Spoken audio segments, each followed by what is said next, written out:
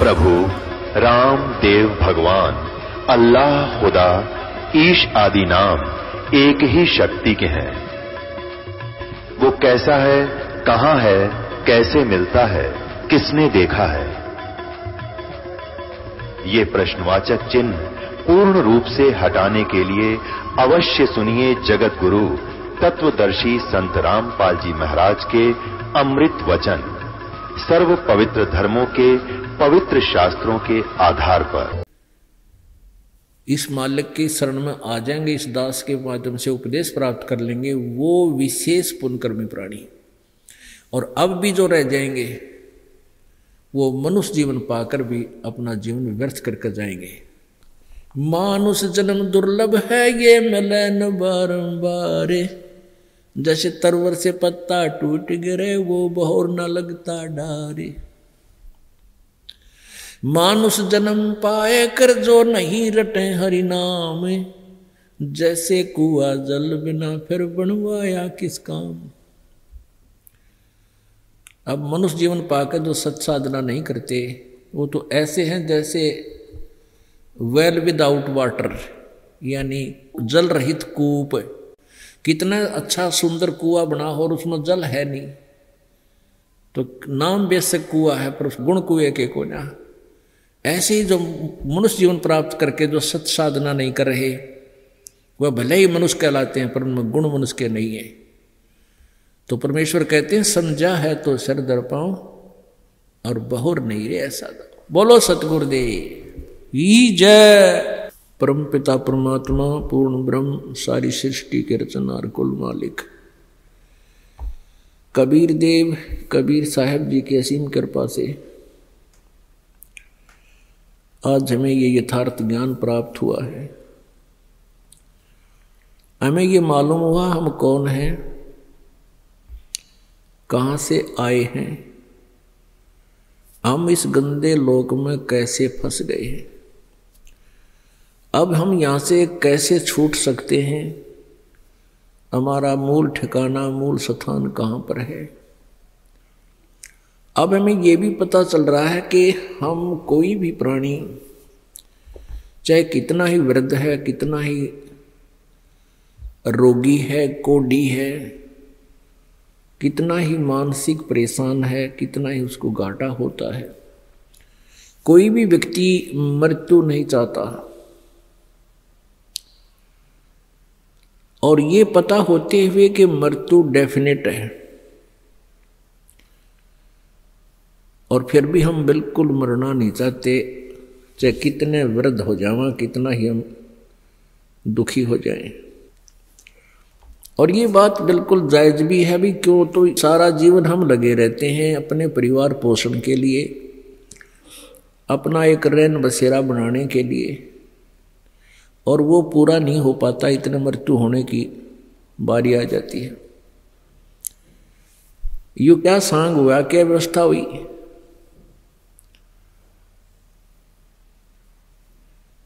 एक विशेष विचारणीय विषय है कि इंसान सारा जीवन अपने परिवार पोषण में एक मकान बनाने और तथा तो कुछ आधुनिक सुविधाएँ प्राप्त करने में सारा जीवन लगा देता है। बच्चों की शादी विवाह करके न्यू सोचा है कि अब मुझे कुछ राहत मिलेगी। इतने बुढ़ापा दस्तक दे देता, आकर के लिए मैं भी आ गया भोले त्यार। कदे आँख बनवानी, किधर जाड़ पड़वानी, किधर सिर में दर्द, किधर कड़े दुख है, कमर में दर्द। ऐसी बिरान माटी हो इस जीव की। अब हमारे को दूर से दिखाई देने लग गया, क्योंकि हमारा अज्ञान रूपी मोतिया बिंद का ऑपरेशन कर दिया परमात्मा ने। हमारे को आज वो वृद्ध अवस्था खड़ी दिखाई देती है। इसका विकल्प क्या है कि परमात्मा के चरणों में लगा रहने से, सच्ची श्रद्धा से, भक्ति करने से, वो दुख में समय हमारा आसानी से व्यतीत हो जाएगा। परमात्मा का सहयोग हमारे साथ रहेगा तो हमें बहुत हल्का बनेगा वो दुख। और जो परमात्मा की भक्ति नहीं करते और अच्छी पोस्ट से रिटायर होते हैं, और अच्छे उनको डिपॉजिट, जमा पैसा उनका मिलता है, और बच्चे उसी समय फिफ्टी फिफ्टी कर लेते हैं, दो हैं दादा आधा कर लेंगे, और पिताजी के पास केवल पेंशन रह जाएगी। और फिर पेंशन के चक्कर में इकतीस तारीख ने पिताजी को पूछेंगे, कब लाओगे पेंशन? एक भगत बता रहा था कि मेरा मित्र रिटायर हो रहा और बैंक के सामने मिल गया और साथ में उसकी पुत्र वधु जितनी पेंशन मिल रही थी पाँच चार हज़ार, वह सारी उस पुत्र व वधु ने ले ली उसका सामने। और उस बुढ़े ताई दस रुपये दे दिए रिक्शा के। अगले, दादा तू बैठ के घर न चाल, में बाज़ार में सामान ले आऊँगी। तो कहने लगी, मैंने पूछा भी, आप किस लिए आई हो पेंशन लेने? बुढ़ा आया। वो कहने लगी, इसने दिखता कोई ना गिणने ना हो मैं गेल ला के गिणवा लूँ। वह जाली जब उन्होंने कह, बुढ़ा रहा गिणने तो मैंने खूब आवे हैं। इसका नो सका कदे बुढ़ा के मैं राख जा दो दस रुपये रिक्शा के दे रखे बाकी सारे लेगी। कहने का भाव ये पुण्यात्माओं एक अच्छी पोस्ट से रिटायर हुआ था एक बुढ़ा।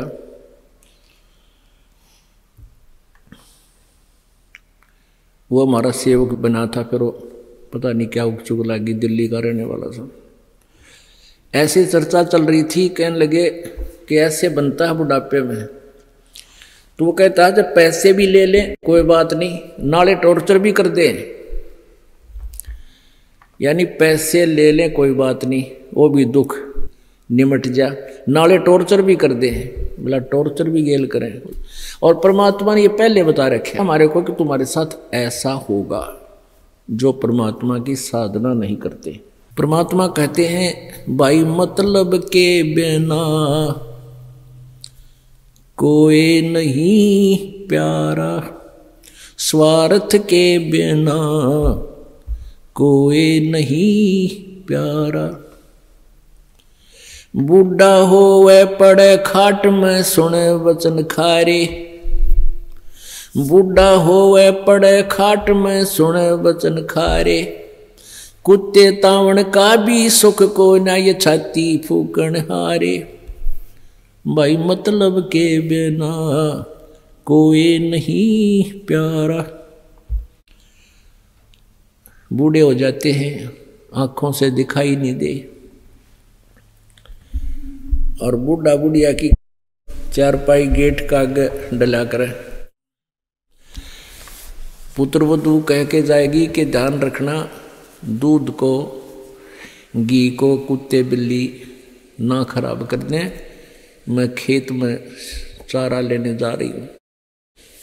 अब वो बुढ़िया ने दिखे को नहीं, कुत्ता बड़ा शैतान होता है, आँख में चोरनी करके रसोई में पाया करे। एक पुत्र वधु, उनकी आई, देखा कुत्तों ने दूध भी खराब कर रखा और घी भी तो बुढ़ा बुढ़िया को कहती है कि तुम तो छाती फूको मारी। तुम्हारा इतना सुख भी कोई ना, तुम कुत्तों ने हटा दो। यानी कुत्तों की से रखवाली कर दो। बूढ़ा हो वह पड़े खाट में, सुने बचन खारे। कुत्ते तावण का भी सुख को ना, ये छाती फूकण हारे। ये टॉर्चर और नाले होगा गिल। तो इस तरह परमात्मा कहते हैं कि कोई भी व्यक्ति, जैसे अभी आपने दिन के सत्संग में सुना था, गीता जी नंबर सात के श्लोक नंबर ट्वेंटी नाइन में, उनतीस में, कि जो व्यक्ति मेरे इस ज्ञान पर आश्रित होकर उन तत्वदर्शी संतों के संपर्क में जाकर उस तत्वरम से तत्वरम से यानी परम अक्षर पुरुष से, परम अक्षर परम से और सारे आध्यात्मिक ज्ञान से और सभी कर्मों से जो परिचित हो जाता है तो वो केवल जरा मरण मोक्ष आए जरा और मरण से मोक्ष के लिए, यानी से छुटकारे के लिए ही प्रयत्न करते हैं। तो जरा मरण इसलिए बताया कि यहाँ बुढ़ापा सबसे डेंजरस टाइम है इस जीव का। और साथ में फिर मृत्यु मृत्यु उसते ही बुंडी और होनी डेफिनेट तो ऐसा क्यों है? क्योंकि हम ऐसे लोक में रहा करते थे जहाँ मृत्यु नहीं होती थी। और ये मृत्यु हमें कति गंवारा नहीं है, और यह हो रही है। इसलिए हमें यहाँ सत्संग में आने से पता चलता है कि हम कौन हैं, कहाँ से आए हैं। इस मनुष्य जीवन का उद्देश्य क्या है?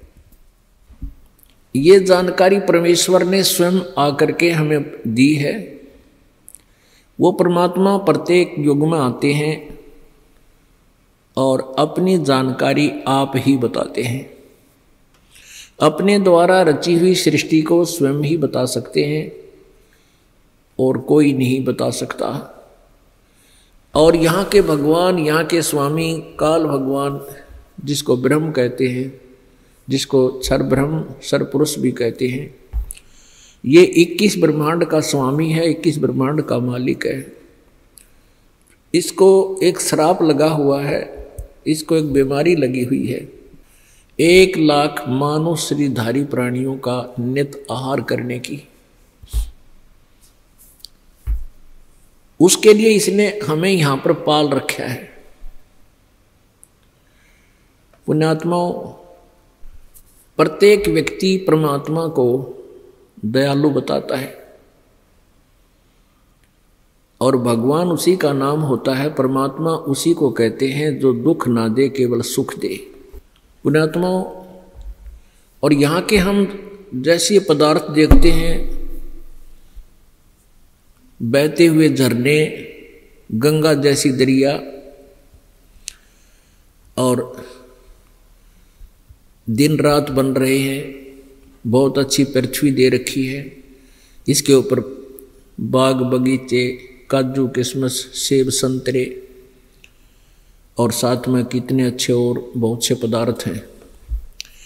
इन सबको देख करके ऐसे लगता है कि परमात्मा बहुत ही दयालु है।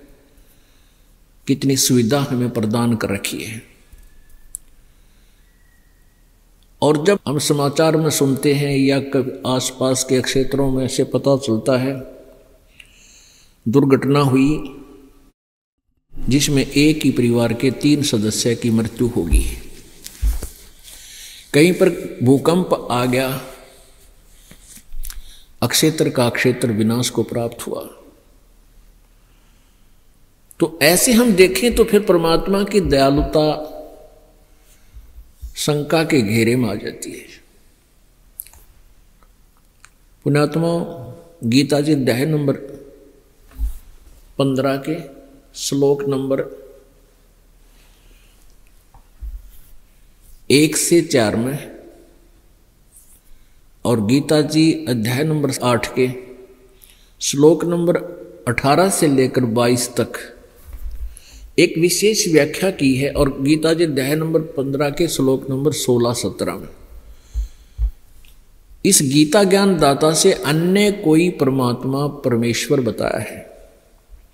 गीता जी अध्याय नंबर आठ के श्लोक नंबर तीन आठ, नौ, दस, अठारह से बाईस, गीता अध्याय नंबर पंद्रह के श्लोक नंबर एक से चार, सोलह और सत्रह में। और भी बहुत से स्थानों पर गीता जी अध्याय नंबर अठारह के श्लोक नंबर बैसठ, छसठ, अध्याय नंबर अठारह के श्लोक नंबर छियालीस, इनमें अन्य कोई परमात्मा है जो परमेश्वर है? गीता ज्ञान दाता से और। उसके विषय में जानकारी दी है। तो इन सब की जानकारी देते हुए गीता जी अध्याय नंबर पंद्रह के श्लोक नंबर सोलह और सत्रह में तीन परमात्माओं की व्याख्या की है। एक सरपुरुष एक अक्षर पुरुष और तीसरा परम अक्षर पुरुष पुरुष कहो चाहे ब्रह्म कहो, प्रभु कहो, राम कहो। जो क्षर पुरुष है,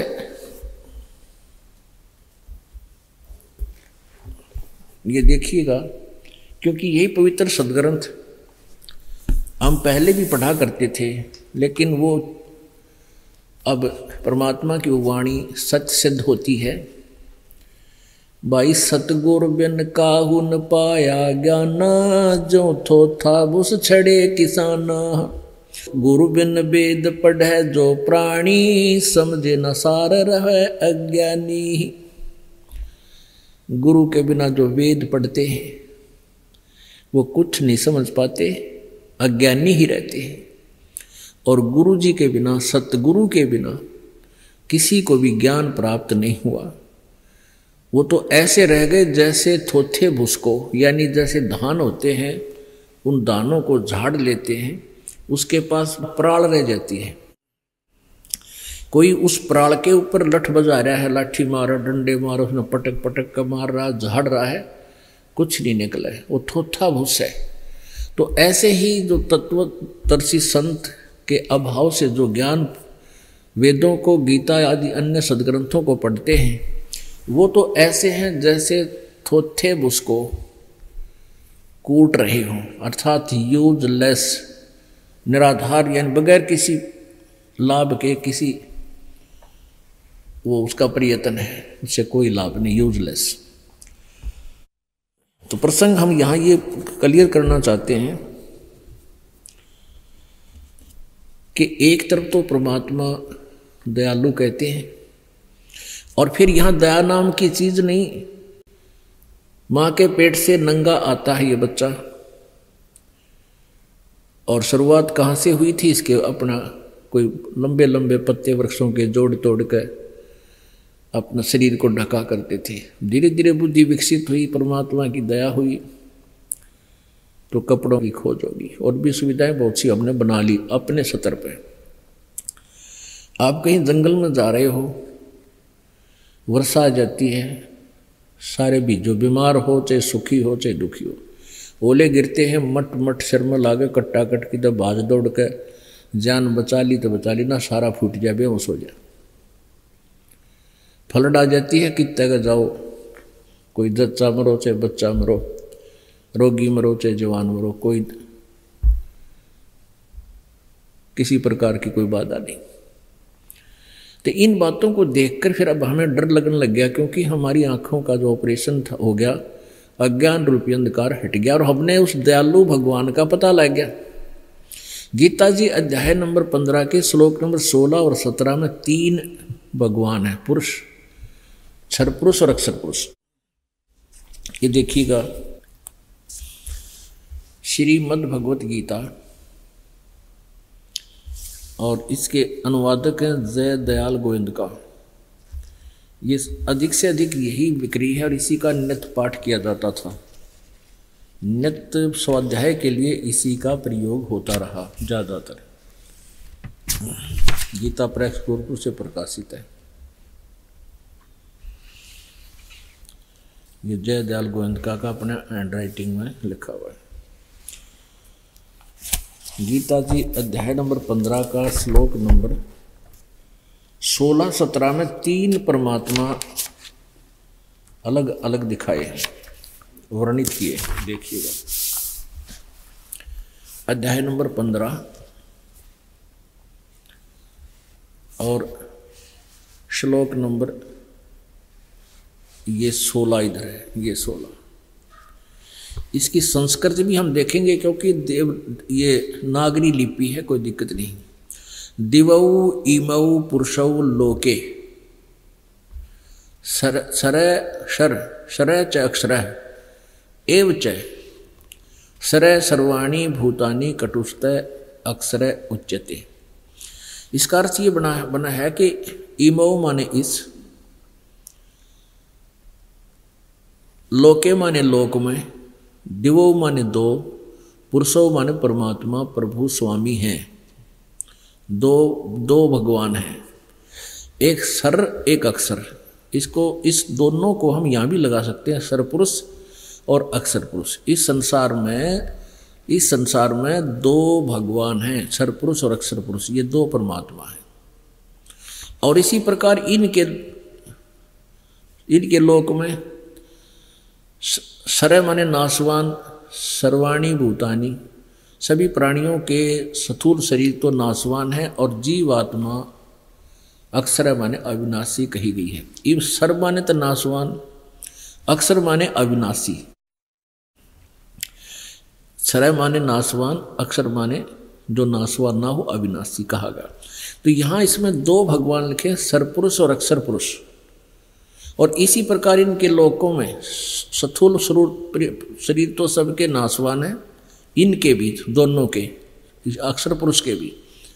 और जीवात्मा, ये तो किसी की मरती ही नहीं कुत्ते की भी नहीं मरती, गधे की भी नहीं मरती। इन्होंने अनुवाद किया है, इस संसार में नासवान और अविनाशी भी ये दो प्रकार के पुरुष पुरुष माने प्रभु हैं। इन्होंने लिखना था इस संसार में नासवान और अविनाशी ये दो पर, भी दो प्रकार के परमात्मा हैं भगवान हैं पुरुष हैं प्रभु हैं। और संपूर्ण प्राणियों के शरीर तो नासवान है जीवात्मा अविनाशी कहा जाता अब यहाँ किया कमाल सत्तर में, में उत्तम पुरुष है तो अन्य है। पुरुष माने प्रभु परमेश्वर। उत्तम पुरुष श्रेष्ठ प्रभु पुरुषोत्तम तो अन्य ऊपर वर्णित इस सरपुरुष और अक्षर पुरुष से इन दोनों से कोई और है। उत्तम पुरुष है तो अन्य परमात्मा इति उदार थे ये दास इस परमात्मा शब्द को डिफाइन करना चाहता, उसके लिए इतना कुछ आपके समक्ष प्रस्तुत करना पड़ेगा। इतना लंबा चौड़ा उदाहरण बनाना पड़ेगा। उत्तम पुरुष है तो अन्य पुरुष भी लिखा है और परमात्मा भी लिखा है। उत्तम पुरुष है तो अन्य है। ऊपर वालों से, दोनों भगवानों से कोई और है जिसे परमात्मा उदारता माने कहा जाता है। जिसको परमात्मा कहा जाता है। यह लोकतरम जो तीनों लोकों में आविश्य मन प्रवेश करके विभर्ति सबका धारण पोषण करता है वह अवय ईश्वर है। ये अवय शब्द है, ये अविनाशी।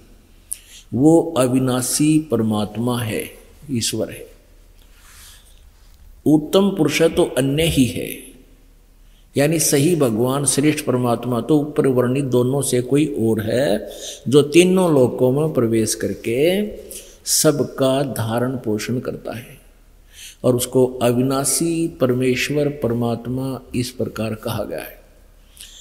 अब ये दास बताओगा, अब उत्तम पुरुष तो अन्य ही है यहाँ पुरुष और परमात्मा दो शब्दों का प्रयोग या अक्षरों का प्रयोग हुआ अब ऊपर सोलहवें श्लोक में, पंद्रहवें अध्याय के सोलहवें श्लोक में अक्षर पुरुष भी कहा, अक्षर पुरुष का अर्थ होता है अविनाशी प्रभु।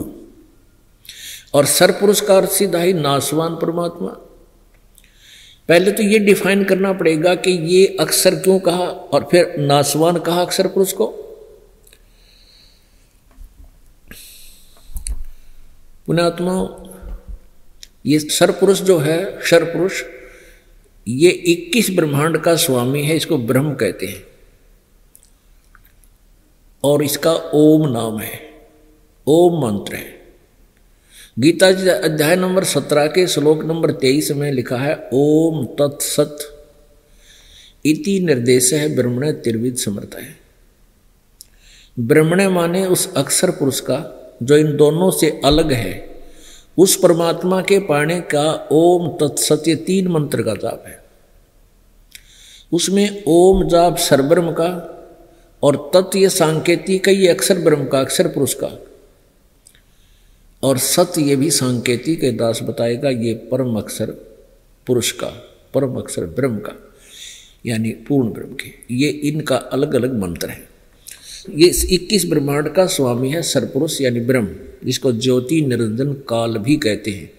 जिसने श्री कृष्ण जी में प्रवेश करके गीता जी का ज्ञान दिया, श्रीमद भगवत गीता का ज्ञान दिया।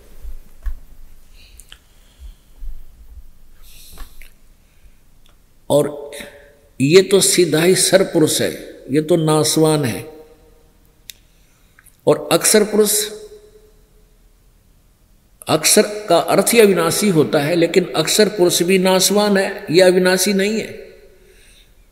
अब इसको डिफाइन करना है, भाई, अविनाशी भी कहा और नासवान भी कहा, जैसे इवन की एज देखनी पड़ेगी। ब्रह्म के तीन पुत्र हैं इस काल के ज्योति निरंजन के, श्री ब्रह्मा जी, श्री विष्णु जी, श्री शिव जी। रजगुण ब्रह्मा जी, सतगुण विष्णु जी, तमगुण शिव जी। ब्रह्मा जी की आयु सौ वर्ष की है। वो वर्ष कैसे बनते हैं? एक चतुर्युग, सतयुग, त्रेता, द्वापर, कलयुग इन चारों का मिलाकर के तिरतालीस लाख बीस हज़ार वर्ष का समय होता है। इसको एक चतुर्युगी कहते हैं। चतुर्युग कहते हैं। और ऐसे ऐसे एक हज़ार आठ चतुर्युग का ब्रह्मा जी का दिन इतनी ही रात्रि, इसको लम संप एक हज़ार युग का दिन इतनी ही रात्रि मानकर चलते हैं। और तीस दिन रात का महीना, बारह महीने का एक वर्ष और सौ वर्ष की ब्रह्मा जी की आयु। सौ वर्ष की ब्रह्मा जी की आयु। इससे सात गुना सतगुण विष्णु जी की सात सौ वर्ष। इस प्रकार बने हुए वर्षों के। और इससे सात गुना उनचास सौ वर्ष श्री शंकर भगवान सप्तम गुण की। और सत्तर हज़ार बार जब तमगुण तमगुण ये शंकर की मृत्यु हो जाएगी, तब एक युग होगा किसका? उस अक्षर पुरुष का, एक युग। और एक हज़ार युग का दिन, इसमें इसमें चतुर्युग नहीं है, इसकी काउंटिंग में। ब्रह्मा जी की आयु में चतुर्युग है, और अक्षर पुरुष की आयु की कैलकुलेशन में चतुर्युग नहीं है ओनली युग है। एक हज़ार युग ऐसे बने हुए एक हज़ार युग का दिन इतनी ही रात्रि अक्सर पुरुष की। और तीस दिन रात का महीना और बारह महीने का एक वर्ष, ऐसे बने हुए सौ वर्ष की आयु है अक्सर पुरुष की, यानी फिर भी मृत्यु है। अपने आत्माओं अभी पवित्र श्री बद्ध भगवत गीता है। आठवें अध्याय के तेरहवें श्लोक में गीता ज्ञानदाता अपने मंत्र का कि अपनी भक्ति और मंत्र के विषय में विशेष रूप से बताता है कि ओम इति एकाक्षरम ब्रह्म व्यवहारण माम अनुसमरण यह प्रयाति तजन देहम सयाति प्रभाव गति मेरा एक ओम अक्षर है मुझ ब्रह्म का, माम ब्रह्म का। उच्चारण करके सिमरण करता हुआ जो प्राणी शरीर त्याग कर जाता है, वो ओम नाम के जाप से जो परम गति होती है, जो जो उपलब्धि होती है, उसको प्राप्त करता है। अब यहाँ एक साथ क्योंकि आप जी परमात्मा की तरफ़ में बहुत घूम रहे हो। आप जी ने बहुत से संत भी मिले हैं, आपने बहुत से संतों का लिटरेचर भी पढ़ा है। आपको ये विशेष बताने की आवश्यकता नहीं, भगवान बजलो काम आओगा। आपको ये प्रमाणित करना अति आवश्यक है कि परमात्मा कौन है, कैसा है और कैसे मिलेगा। उसका डिफाइन करना आपके सामने अति आवश्यक है विद प्रूफ। तब भक्ति तो आप आप पर कर लोगे। जब ये पता लगेगा सत्सरा रहकर सत्संग भी सुनाएँगे। तो अब ये डिफाइन करना चाहते हैं कि हमारे सदग्रंथ हमें क्या अनमोल खजाना दे रहे थे और ये ज्ञानी, अनाड़ी, संतों, ऋषि ब्राह्मणों ने गुरुओं ने, नकलियों ने। हमारे को उल्टा पाठ पढ़ा रखा था। कह, ख भी नहीं बता रखा भक्ति का? ए बी सी भी नहीं बता रखी। और वही सदग्रंथ जिनको हम सर्वधार्य मानते थे तो कितना निर्मल ज्ञान दे रहे। गीता जी अध्याय नंबर आठ के श्लोक नंबर एक में अर्जुन ने पूछा, सुबह भी बताया था कि वो तत्परम कौन है जिसके बारे में आपने सातवें अध्याय के उनतीसवें श्लोक में श्रीमद भगवत गीता में बताया है? उसका उत्तर आठवें अध्याय के तीसरे श्लोक में दिया है गीता ज्ञान दाता ने कि वो परम अक्षर ब्रह्म है। एक तो अक्षर ब्रह्म को चाहे अक्षर पुरुष। एक परम अक्षर ब्रह्म। यानी अक्षर पुरुष से भी श्रेष्ठ और परम है। और गीता जी अध्याय नंबर पाँच और सात में तो अपनी सतिथि बताता है, मेरी भक्ति कर मुझे प्राप्त होगा। और आठ, नौ, दस में परम अक्षर ब्रह्म के विषय बताता है, उसकी भक्ति जो करता है, उस तत्वदर्शी संत से वो तीन मंत्र का नाम जाप लेके वो उसको प्राप्त होता है। फिर गीता जी अध्याय नंबर आठ के श्लोक नंबर सोलह में कहा है कि ब्रह्मलोक पर्यंत, ये सभी ब्रह्मलोक, यानी ओम नाम के जाप से ब्रह्मलोक प्राप्ति होती है ब्रह्म का जाप है। और ब्रह्मलोक में चला जाता है, जिसको महास्वर्ग भी बोला जाता है। और वहाँ जाने के बाद भी फिर प्राणी को वापस जन्म मृत्यु में आना पड़ता है। गीता जी ज्ञानदाता, ये ब्रह्म स्वयं कह रहा है, गीता जी अध्याय नंबर चार के श्लोक नंबर पाँच और नौ में, अर्जुन, तेरे और मेरे। बहुत से जन्म हो चुके हैं, तू नहीं जानता, मैं जानता हूँ। और मेरे जन्म और कर्म अलौकिक है। आठवें अध्याय के सत्तरवें श्लोक में जो अनुवाद इन अनुवादकर्ताओं ने किया ही बिल्कुल गलत रखा है। उसको अब स्पष्ट करना चाहते हैं। तो उसमें बताया कि जो उस परमात्मा की भक्ति करता, फिर उसकी दोबारा जन्म नहीं होता। और अक्सर पुरुष की यहाँ आयु कैलकुलेशन बता रखी है। आठवें अध्याय के सत्तरवें श्लोक में आपको दिखाते हैं। ये देखिएगा, अध्याय नंबर आठ।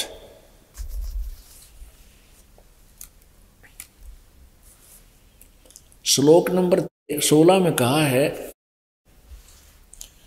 कि ये अर्जुन ब्रह्मलोक पर्यंत सब लोक पुनरावर्ती में है। यानी ब्रह्मलोक तक भी सभी का जन्म और मृत्यु होता है। ये इन्होंने इस पर इसका विश्लेषण नीचे किया है। पुनरावर्ती का क्या अर्थ होता है? अर्थात जिनको प्राप्त होकर पीछे संसार में आना पड़े, ऐसे। और पंद्रहवें अध्याय के चौथे श्लोक में कहा है कि तत्वदर्शी संत के मिलने के पश्चात उस परम पद परमेश्वर की खोज करनी चाहिए। ये देखिएगा अध्याय नंबर पंद्रह।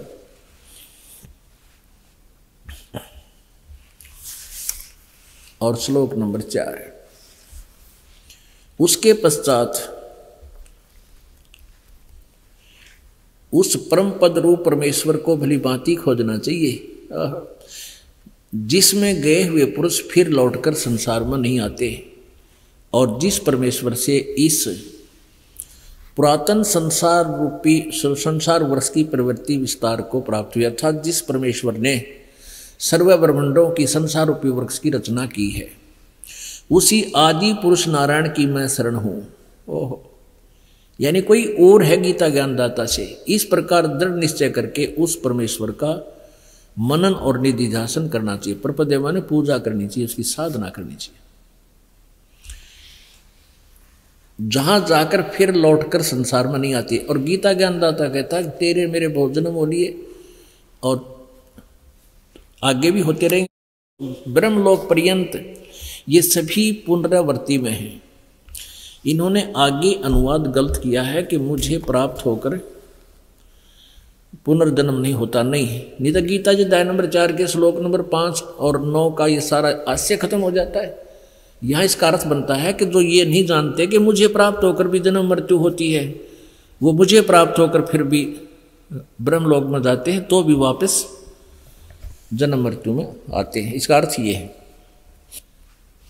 अब इसका आठवें दय का जो आपने सोलहवें श्लोक का सुना कि ब्रह्मलोक में गए हुए प्राणी भी वापस जन्म मृत्यु में आते हैं। इससे सिद्ध हुआ कि ओम नाम और ब्रह्म की साधना करने वाले भी पूर्ण मोक्ष प्राप्त नहीं होता। यहाँ कंसेप्ट क्लियर करना चाहता है ये दास कि इन्होंने अनुवाद गलत किए हैं। आठवें अध्याय के सत्रहवें श्लोक में उस अक्षर पुरुष की आयु बता रखी है। ये देखिएगा, आठवें अध्याय का सत्रहवा श्लोक। ये आठवें अध्याय का और ये सत्तरवा श्लोक, ये सोलवा आपने देखा कि आ ब्रह्मभुनाथ यानी हे अर्जुन, ब्रह्मलोक पर्यंत सब लोग पुनरावर्ती में वहाँ गए हुए प्राणी फिर जन्म मृत्यु में आते हैं। सत्तरवा इसमें देखना सहसर युग पर्यंतम। सहसर युग है, यहाँ सहसर चतुर्युग नहीं है। ये ध्यान करना, यहाँ, क्योंकि ये मूल संस्कृत को हम अनुवाद करेंगे। इन्होंने गलत किया हुआ। इसमें सहसर चतुर्युग नहीं है सहसर युग पर्यंतम। अह माने दिन, और यथ ब्रह्मण माने इस अक्षर पुरुष का। ब्रह्मणे का अर्थ होता है, क्योंकि यहाँ आयु कैलकुलेशन है तो यहाँ ब्रह्मणे का अर्थ बनेगा इस अक्षर पुरुष पर ब्रह्म का, बड़े भगवान का। ब्रह्म से जो बड़ा है ब्रह्मण है, बड़ा, उससे बड़ा। विदु, जान रात्रिम रात्रि भी युग संसरांतम। इसमें चतुर्युग नहीं है। ते अहो रात्रि विदु जना।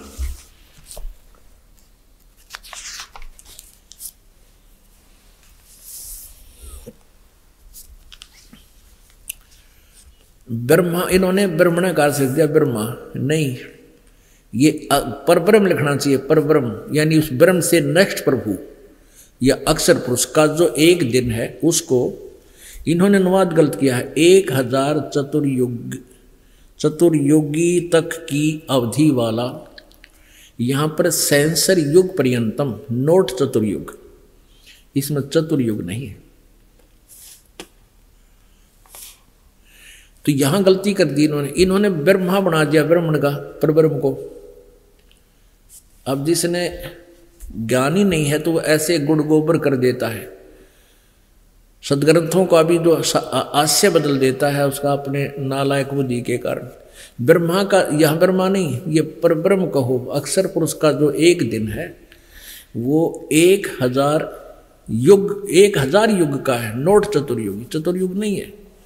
और इतनी ही रात्रि जानो। और जो पुरुष इसको तत्व से जानते हैं, वह योगी जन।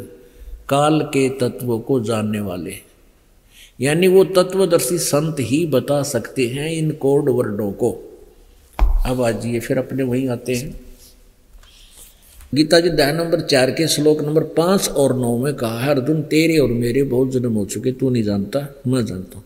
मेरे जन्म और कर्म अलौकिक है। कैसे? जैसे भी आपको बताया था कि एक ब्रह्मा जी की आयु कैसे बनी थी? एक हज़ार चतुर्युग का दिन उतनी ही रात्रि। तीस दिन रात का महीना और बारह महीने का एक वर्ष, सौ वर्ष की आयु। उससे सात गुना विष्णु की, विष्णु जी से सात गुना शंकर जी की, शंकर जी की मृत्यु होगी इतने समय के उपरांत। ऐसे ऐसे सत्तर हज़ार बार जब शंकर जी की मृत्यु हो लेगी, तब एक काल की मृत्यु होगी। इस ब्रह्म की मृत्यु होगी जो गीता ज्ञान दे रहा है। इसके बाद क्या होता है, एक ब्रह्मांड का विनाश हो जाएगा। ये सभी प्राणी और ये काल और दुर्गा सभी मृत्यु को प्राप्त होकर उस परमेश्वर की कृपा से ये सभी प्राणी दूसरे लोक में चले जाएँगे, ब्रह्मांड में। वहाँ जाते ही परमात्मा का वर है इन दोनों को, दुर्गा और इस काल को, इनके एकदम वहाँ जाते ही युवा शरीर बन जाएँगे। और ये दोनों युवा होंगे, फिर उसके बाद ये नए सिरे से अपनी सृष्टि, ब्रह्मा, विष्णु, महेश की उत्पत्ति आदि, फिर ये करेंगे, कुछ गुरु दुर्गा वचन से कर देती है, कुछ ऐसे सृष्टि क्रम से करते हैं। तो वो जो ये काल मरेगा, एक ब्रह्मांड का विनाश होगा, वो एक युग होगा। किसका? इस अक्षर पुरुष का। इसलिए यहाँ चतुर्युग नहीं लिखा है, आठवें अध्याय के सत्रहवें श्लोक में श्रीमद भगवत गीता जी में। ओनली युग कहा है।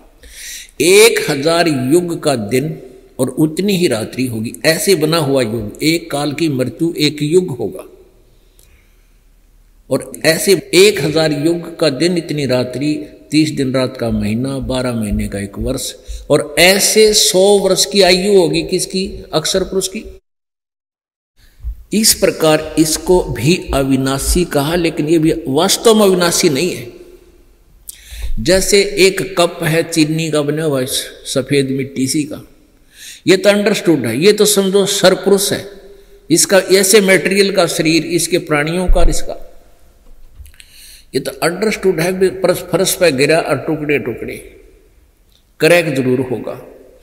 और दूसरा एक स्टील का कप हो, चाय पीने का। यानी स्टील धातु से बनी हुई कोई वस्तु हो। तो वो उस मिट्टी की धातु से बने हुए कप की तुलना में घना अविनाशी है, बहुत लंबे समय में। हो तो का खराब, उसको जंग लगेगा, लेकिन वो पीरियड बहुत लंबा होगा। इस प्रकार उस धातु की तुलना में, मिट्टी वाली धातु की तुलना में शटील धातु अविनाशी कही गई है। लेकिन है इसका विनाश।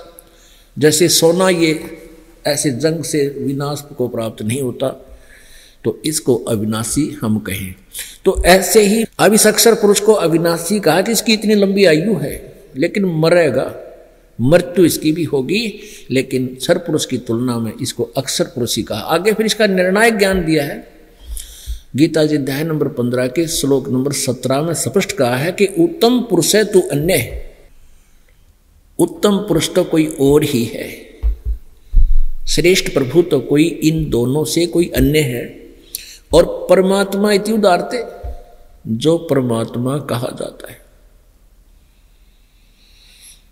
अब यहाँ परमात्मा की डेफिनेशन आपको बताने जा रहे हैं कि परमात्मा उसे कहते हैं जो केवल सुख दे, दुख ना दे।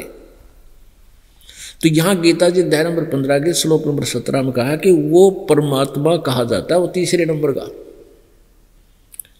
और ये लोग तरम आविश विभर्ती अवे ईश्वर है।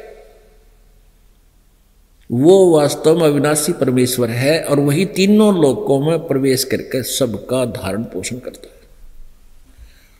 अब पहले ये प्रसंग क्लियर करते हैं कि परमात्मा इति उधारते हैं। जैसे हम, अभी आपको बताया था कि इस पृथ्वी के ऊपर हम सुविधाएँ देखते हैं तो अद्वितीय लगती हैं। ज़मीन के अंदर कितना मीठा जल गर्मियों में ठंडा, सर्दियों में गर्म। फलदार वृक्ष, काजू किस्म सेब, संतरे। और ऐसे पदार्थ हैं, लाडू जलेबी, बर्फ़ी बालूशाही के में बना के खा ले। और फिर देखते हैं कि किस पड़ोसी में देखा कि वहाँ हाहाकार मच गया। क्या हो गया? इकलौता पुत्र था, मृत्यु को प्राप्त हुआ। फिर समाचार पत्रों में सुनते हैं कि एक परिवार के तीन सदस्य मर गए। एक शेष बच गया, छोटा सा बालक एक्सीडेंट में। तो फिर भगवान ने जो सुविधाएँ दी थी, उनका यूज़ क्या हुआ हमें, फिर वो दयालु कहाँ रहा प्रभु? परमेश्वर कबीर जी ने आकर बताया, ऋग्वेद मंडल नंबर नौ, सूक्त नंबर 82 यानी बयासी के मंत्र नंबर एक से लेकर तीन तक।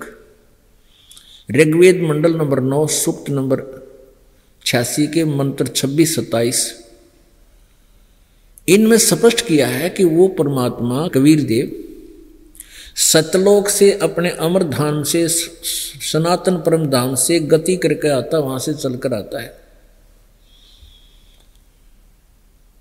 और वो अपनी श्रेष्ठ आत्माओं को मिलता है, उनको ज्ञान देता है। तो उन श्रेष्ठ आत्माओं में से एक आदरणीय धर्मदास साहिब जी थे।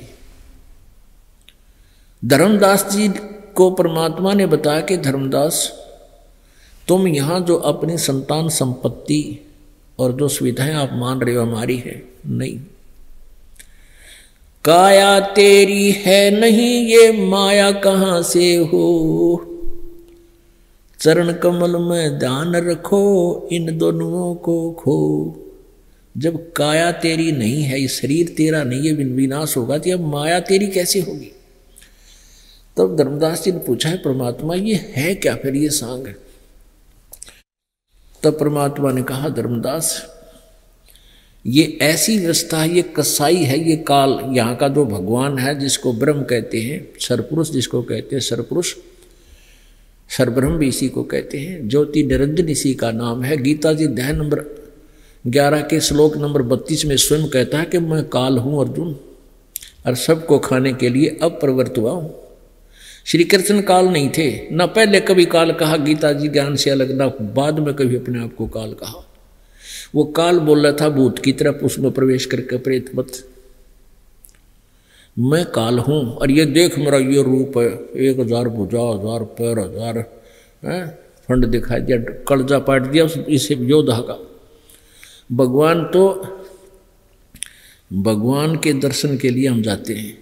अरिसा भगवान होता है इसका था, तू मर जाएगी तय जिस आप अर्जुन ने दिखाया कि मेरा यू असली रूप है तो भगवान के दर्शन इसलिए करने जाते हो, देखते आत्मा प्रसन्न हो, शीतल स्वभाव हो, बोलने की विनम्रता हो, प्यार मिले दुख ना हो, सुख सुख हो, इसलिए भगवान को ढूंढते इसे बुढ़े ने देखते, कलजा पाट जा पता उसने के गड्ढा इसे भगवान ने।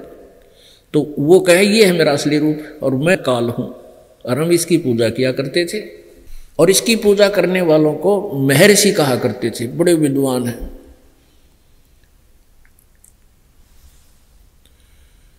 तो परमात्मा ने बताया काल है भाई।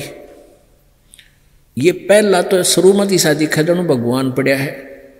और जब इसका असली चेहरा सामने आता है, इसके करतूत देखा तो ये तो काल है। जैसे कसाई बकरे पालता है, उनके लिए सब सुविधाएँ करता है। चरागाह बनाता है, है?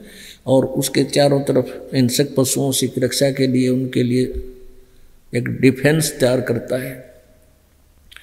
ऊपर छाया बनाता है शेड बनाता है उनके लिए।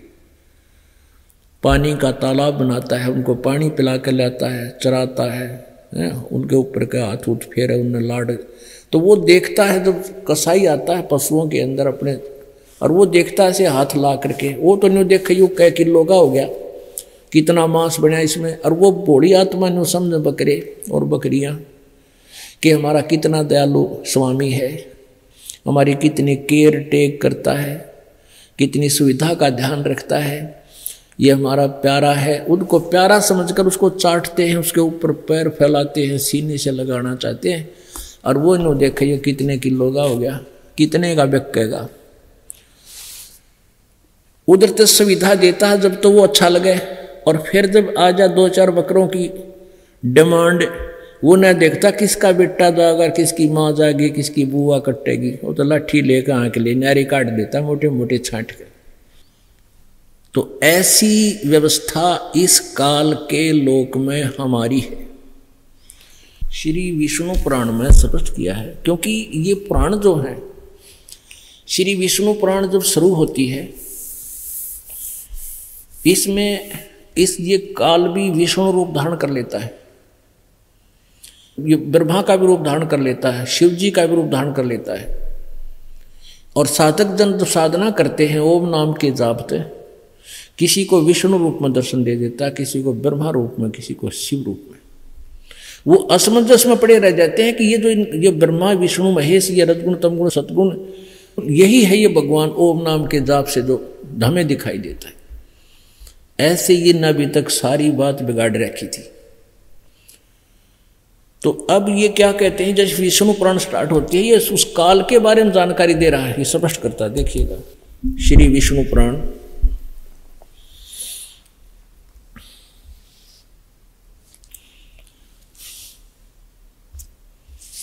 गीता प्रेस गोरखपुर से प्रकाशित है ये।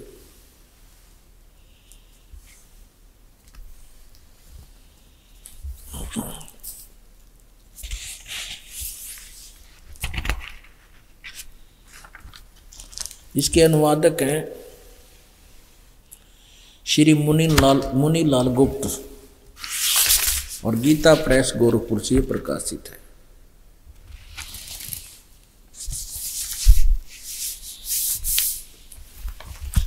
अध्याय नंबर दो के, ये प्रश्न नंबर चार पर श्री विष्णु पुराण अध्याय नंबर दो, यहाँ देखिएगा।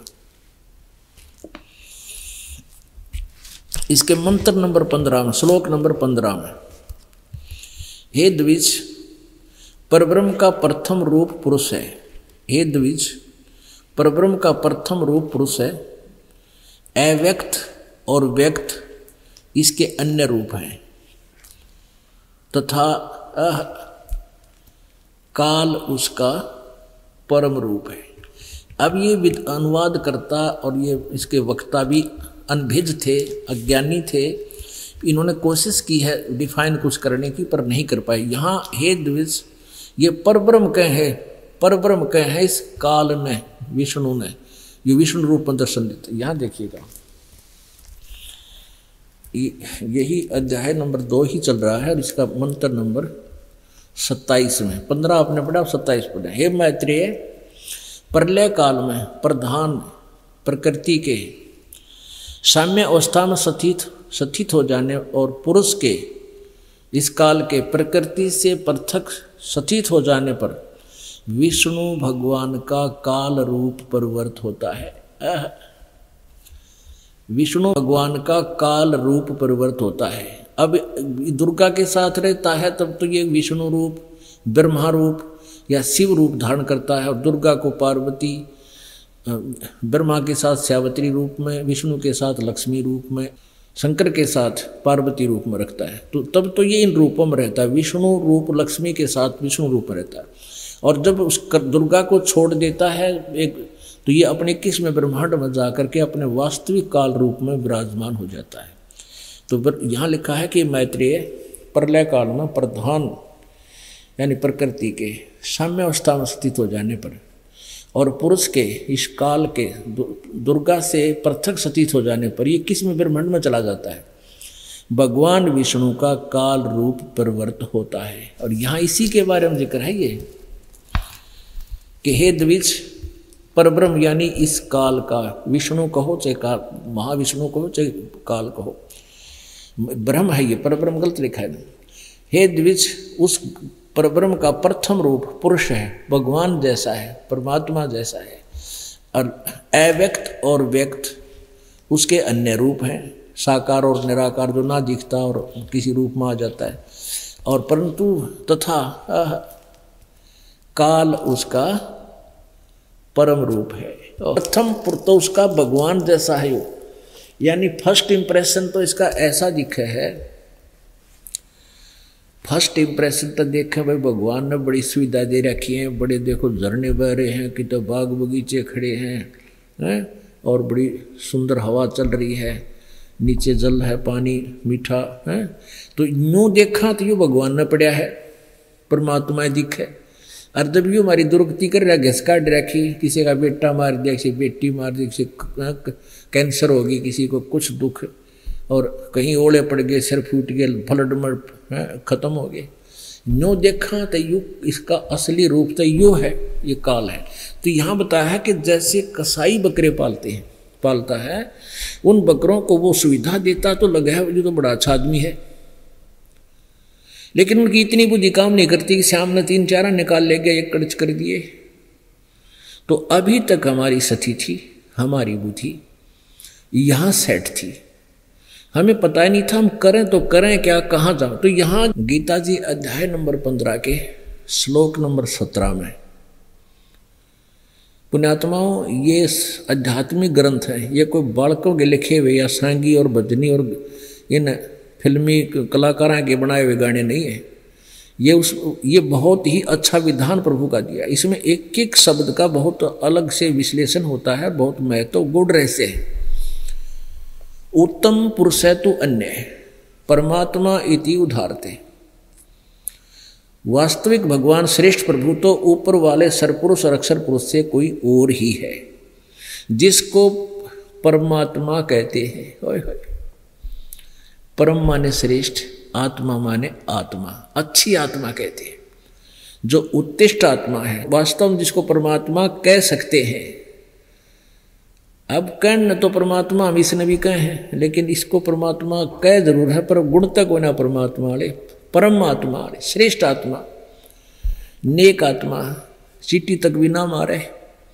केवल सुख दे और दुख ना दे, उसको परमात्मा कहते तो वो सतलोक में सतपुरुष है, वो परम अक्षर ब्रह्म है, वो कबीर देव है। और जो तीनों लोकों में प्रवेश करके सबका धारण पोषण करता है वो है, वो अविनाशी परमात्मा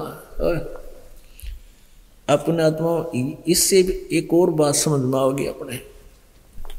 गीता जी अध्याय नंबर पंद्रह के श्लोक नंबर एक से लेकर चार में क्या व्याख्या की है कि ऊपर को जड़ वाला और नीचे को तीनों गुण रूपी शाखा वाला ये उल्टा लटका हुआ संसार रूपी वृक्ष जानो।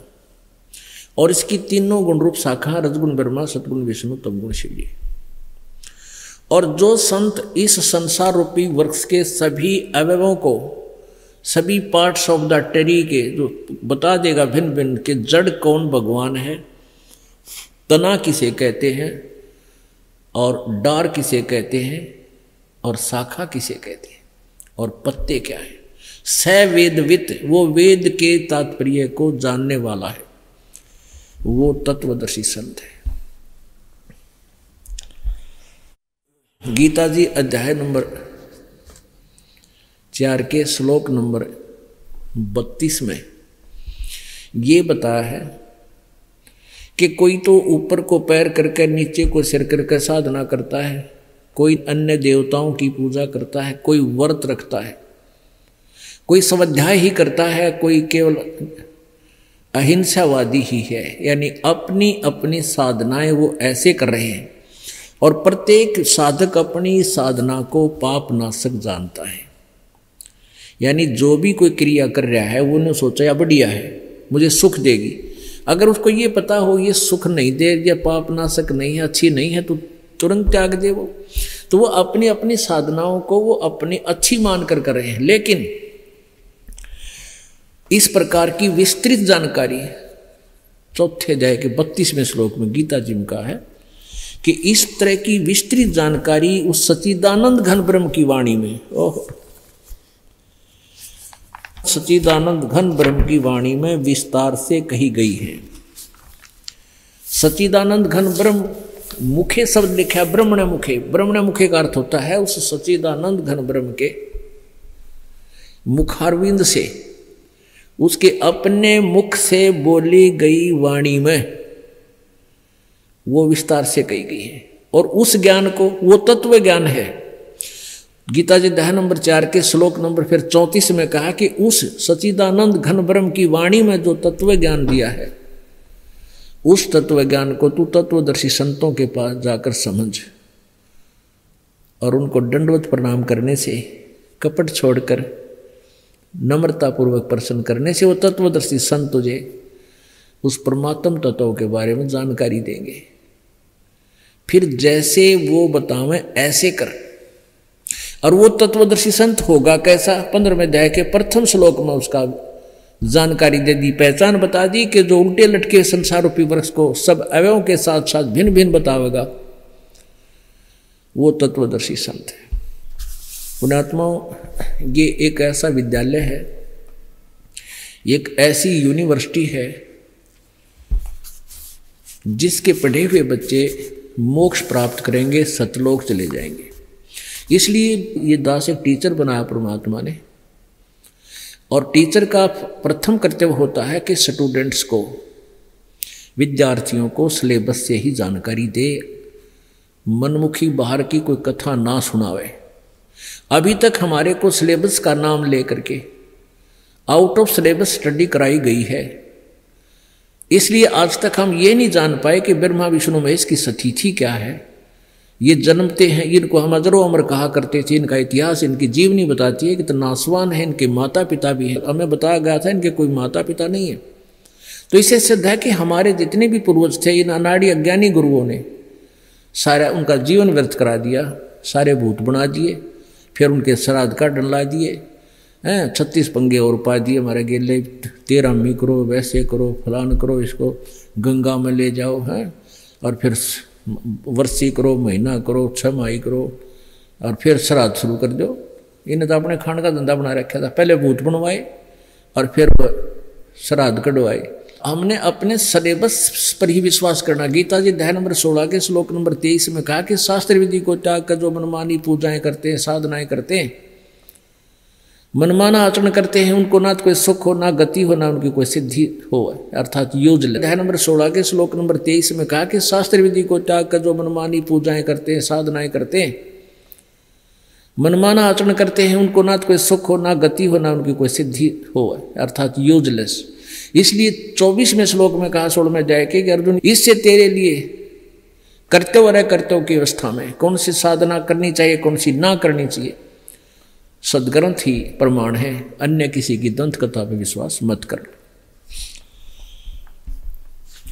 तो दास चाहता कि आप जी को इन सदग्रंथों से परिचित करा दूँ। फिर आप ही अपने मित्रों को, रिश्तेदारों को, बहनों को, भाइयों को, हैं? और आप भी इस दास की तरह फिर टू दी पॉइंट समझाने लग जाओगे, दास का काम हल्का हो जाएगा। और आगे आगे तो शरीर भी वृद्ध होता जा रहा है। अब तो दास ने आठ आठ घंटे, अठारह अठारह घंटे बोल कर देखा, अठारह अठारह घंटे। दिन में तीन तीन बार सत्संग किया करता था। तो अब मुझे सहयोग मिल गया, बुद्धिमान वर्ग इसमें आने लगे हैं इंटेलिजेंट बच्चे हैं, सभी शिक्षित हैं, बहन, बेटी, भाई, बुज़ुर्ग, सभी पढ़े लिखे हो गए।